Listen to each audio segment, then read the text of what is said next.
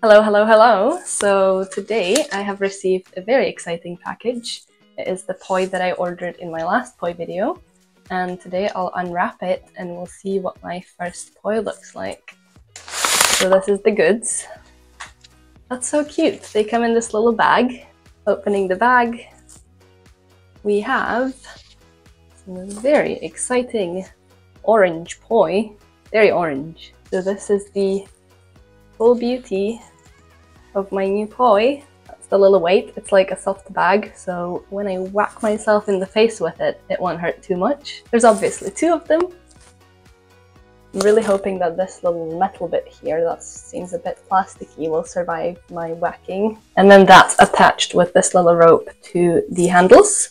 And what I really appreciate about the handles is that they are these little loops that you put on your fingers and I believe that's supposed to be your index finger and your middle finger and they will stay in place while the poi rotates around you. Last time with the other kind of poi, I got such a friction burn on both my middle fingers and completely scraped off my skin because of the rope constantly rubbing on your fingers as you're spinning them. So hopefully this will be a little bit more peaceful. These are the orange scarves, which I really hope will work as flag poi as promised. So that's my first ever pair of poi unpacked. I'm actually very excited about this because that's the first ever piece of equipment that I bought for myself. I'm hoping to buy a rope and some silks in the near future, but for now, these will be my little babies.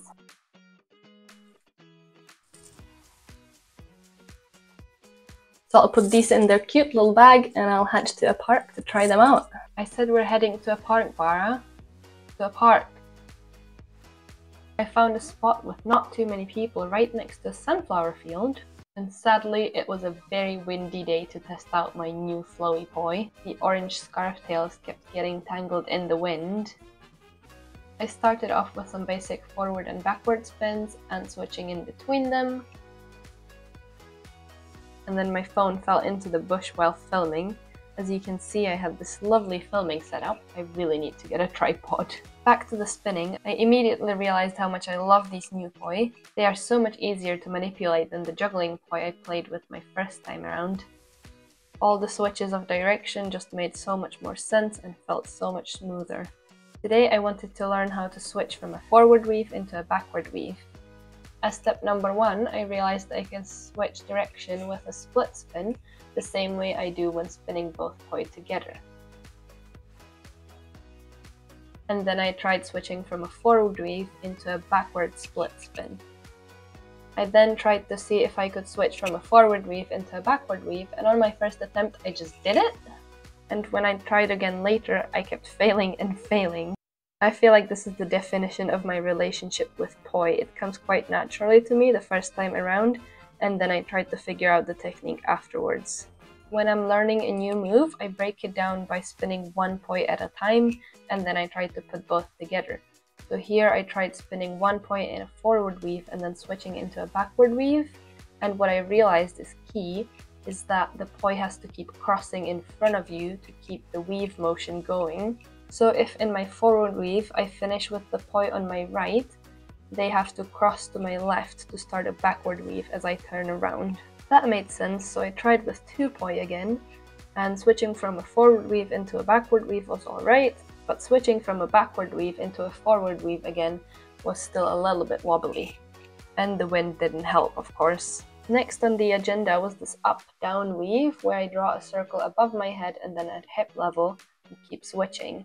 So I tried to break it down with one poi at a time again. And then when I felt confident, I put both of them together. Next, I tried to switch from a forward weave into the up-down weave into the forward weave again, broke it down with one poi at a time, and then I did the second one. I played around with which fingers I put in the two loops on the poi, so I tried to switch from my index and middle fingers to my middle and ring fingers. I think it gave me a little bit more control while trying a forward weave while walking in the wind. The forward and backward weave work quite well with walking around, while the up-down weave gives me hula hoop vibes and makes me want to turn around like this. I then experimented further with the handle loops and tried going for my index and ring fingers. I think it gave me a bit more control and stability in the wind, but it probably doesn't matter too much.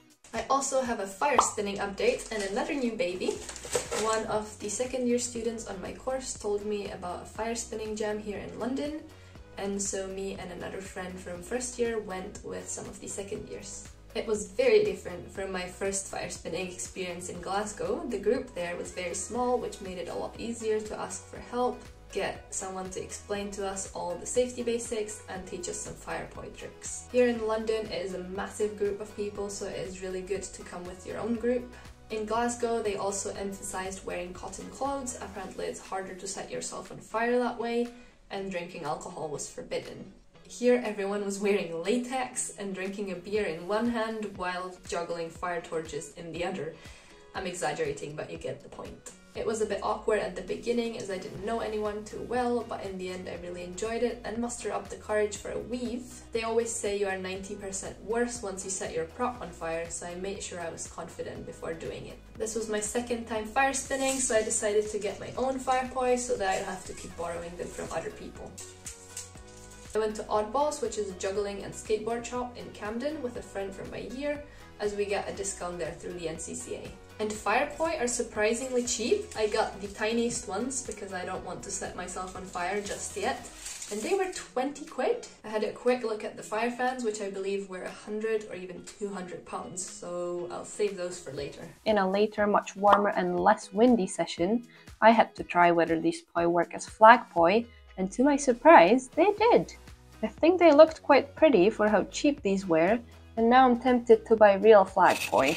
I then tried combining all of my skills together and switching between a forward weave, up, down weave and a backward weave, which was a lot easier when the wind wasn't blowing my poi around. I hope you enjoy following my poi journey and I'll see you in the next video. Bye bye!